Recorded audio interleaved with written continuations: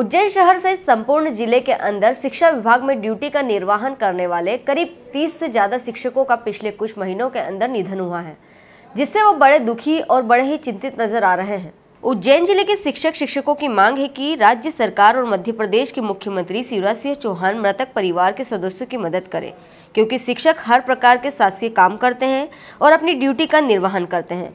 पर इस समय शिक्षक बेहद ही परेशानी के दौर से गुजर रहे हैं और पिछले कुछ महीनों के अंदर उज्जैन ज़िले में करीब 30 से ज़्यादा शिक्षकों का निधन हो चुका है। अब ऐसे में हम सब के साथ साथ सरकार की भी ज़िम्मेदारी बनती है कि इन जरूरतमंद पात्र शिक्षक जनों के परिवार के सदस्यों की मदद की जाए और उन्हें इस दुख की घड़ी में साथ दिया जाए।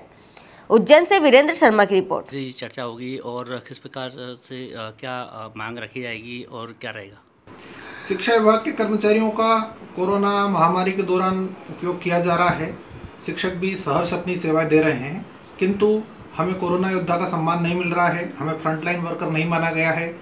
इसलिए न तो हमारे कर्मचारी साथी की मृत्यु होने पर उसको कोरोना योद्धा का लाभ मिलता है और ना ही उसको वैक्सीनेशन में प्राथमिकता मिल पा रही है। इन सब के लिए आज शिक्षा विभाग के समस्त कर्मचारी मिलकर एसडीएम महोदय को चर्चा करेंगे और उन्हें अपनी समस्या से अवगत करवाएँगे।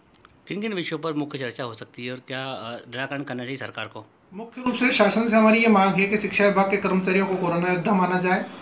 ज़िले में लगभग 35 शिक्षक की कोरोना के दौरान मृत्यु हो गई है, जो विभिन्न शासकीय कार्यों में संलग्न थे।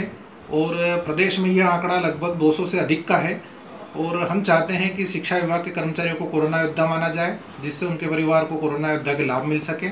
साथ ही उसे फ्रंटलाइन वर्कर भी माना जाए, जिससे जो कर्मचारी पैंतालीस वर्ष से कम उम्र के हैं, उनको भी कोरोना टीका का मतलब टीकाकरण में शामिल किया जा सके। हेलो फ्रेंड्स आप देख रहे हैं हमारा channel S W twenty four news हमारे सारे वीडियो सबसे पहले देखने के लिए आप हमारे चैनल को सब्सक्राइब करें और पास में लगे बेल आइकन को दबाना बिल्कुल भी ना भूलें।